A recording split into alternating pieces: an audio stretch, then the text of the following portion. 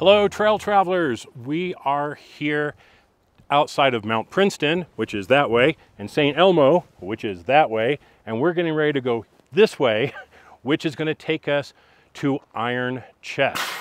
This should be a fun little trail. It's very short, but if you're in the area, should be worth doing. There's, uh, I think, a gatekeeper obstacle, but then there's some old ruins that we're going to go check out. So stay right there. We'll be right back.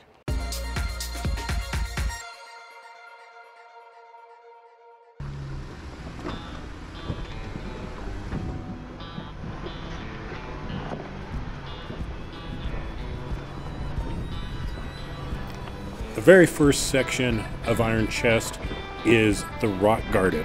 And this is not your basic rock garden. These are some pretty big boulders through here, which is where the trail gets its difficulty rating.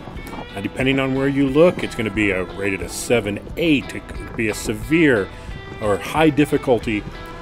And if you're on smaller tires, that is definitely going to be the case. But if you are on like 37s, 38s, or bigger, you are going to roll pretty much right over the big rocks. But if you're on smaller tires, ground clearance is going to be a very, very big deal. And you're going to have to do some good spotting to get through and make some right lines. Otherwise, you are going to scrape. But 37s, 38s are, are larger tires you shouldn't have too many problems making it through the rock garden. Another thing to really be cognizant of is this is a steep trail at the beginning with these big rocks. So if there's any rain or even a little bit of snow on here, it's going to make these rocks very, very slick. You're going to slide all over the place. So take this trail when it's nice and dry.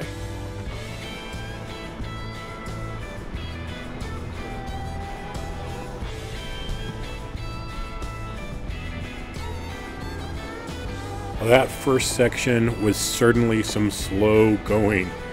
But once you come out, you're now on this narrow, uh, kind of shelfy road here. But the views here are awesome. And of course, you can see we did this in the fall, so the colors were really popping as well. But here's a nice view from the side. You can just see all the way through the hills. It is absolutely gorgeous up here.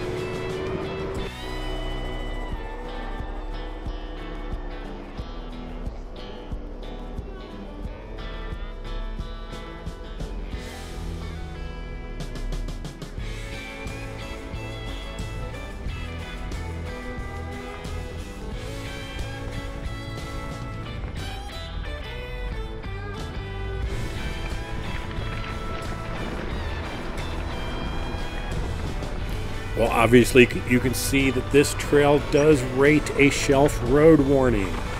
If you don't like shelf roads, well, this is very narrow, we're a little tippy, and we're looking down the side of the hill. So, fair warning for those of you who don't like shelf roads. Now, the trail itself leads up to the Iron Chest Mine. That mine was in operation about a hundred years ago.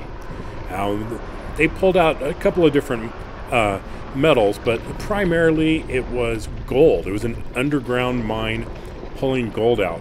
It didn't last for very long and it was a rather small mine, but there's still some relics, some old buildings, and things to take a look at once you get to the top.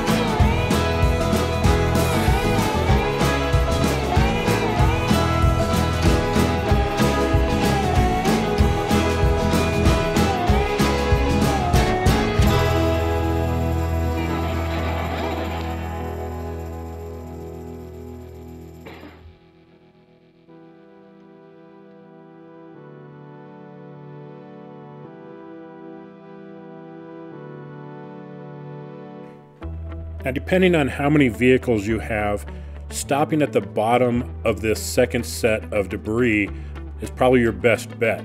Because while you can drive up a little bit further, there's not much room to turn around. So maybe one or two vehicles going up to the next little overlook.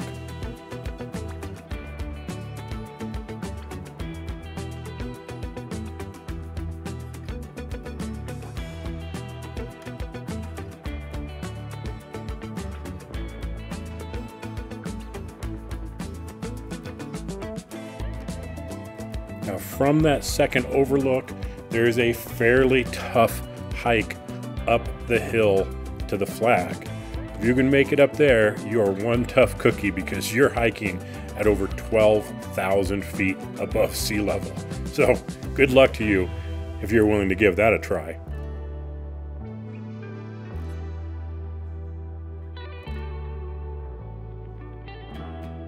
Well, that was Iron Chest.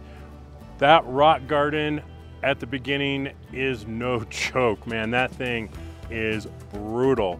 After that, it's not bad at all. You get up to the top, you've got those nice old uh, buildings up there, and then off in the distance on both sides, you can really see some other buildings, which is kind of cool. So we really enjoyed uh, Iron Chest. If this is something that's, you know, one thing I want to mention, it's really tight.